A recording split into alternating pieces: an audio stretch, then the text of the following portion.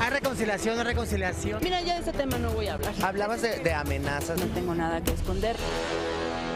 Madre soltera y trabajadora incansable, Ninel Conde llegó mucho más lejos de lo que su propia familia logró nunca imaginar. Pues mi mamá me apoyaba mucho. Mi hermano es el, el que me sigue, como que les regañaba a mi mamá, ay, no gastes en esta niña. Mi papi falleció cuando yo tenía tres años. Y creo que eso ha sido parte importante de, de- de cómo se ha ido dando mi vida. ¿no? Soy la menor de, de seis hermanos que somos, así que fui como su, su consentida. entonces. O sea, ¿de dónde salió ese deseo de querer ser artista? Yo empecé en un concurso de belleza. Mi madre me inculcó muchísimo tener la fe.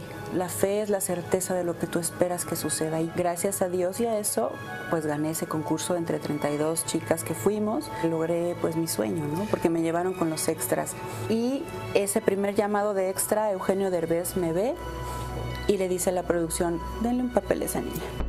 Con solo 18 años, Ninel Conde se casó con el actor Ari Telch, quien era 8 años mayor que ella, y fruto de ese amor nació su hija Sofía. fue un sueño más hecho realidad, ¿no? Que, que yo admiraba mucho a, su papá y, lo veía en la tele y que cuando salía en la novela de Muchachitas y con Kate y, y yo decía, ay, qué hombre tan guapo. Y de repente pues estaba yo en el altar casada con ese, con ese galán de telenovela.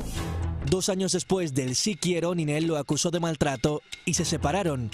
Años más tarde mantuvo un romance con el hijo de Joan Sebastián, José Manuel Figueroa, a quien acusó de violencia doméstica, aunque hoy son grandes amigos. Y tiempo después se casó con Juan Cepeda, pero tras el divorcio el empresario ingresó en la cárcel acusado de robarle 3 millones de pesos a la actriz. No sé por qué esas elecciones que, que- que hiciste a lo largo de tu vida. Pues tú lo has dicho, son patrones de conducta que uno mismo busca sin darse cuenta. Y, y- y te das cuenta que tú mismo traes ese tipo de, de patrones hasta que te atiendes y hasta que tú empiezas a amarte y empiezas a- a darte cuenta de lo que realmente necesitas. Con el empresario Giovanni Medina tuvo a su segundo hijo, pero la relación tuvo muchos altibajos y llegaron a librar una agresiva batalla judicial por la custodia del pequeño Manuel. Tienes que aprender a identificar cuando hay relaciones que son destructivas. Cuando alguien te quiere aplastar, se llama narcisismo, no se llama amor. Has tenido que hacer cosas que, que realmente no querías, pero que sabes que eran buenas por el bien de los niños. Sí, claro. Como buena mamá hay que, hay que esforzarse y sacrificarse por los hijos.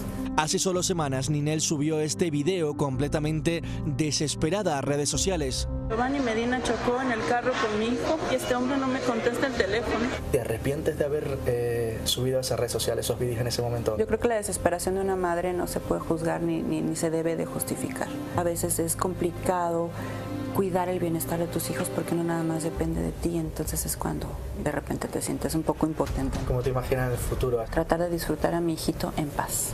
Un duro revés para James, quien contó con el apoyo incondicional de su exmujer, Daniela Ospina, para superar este difícil momento, mientras la novia del jugador, Shannon de Lima, no se dejó ver junto a su pareja.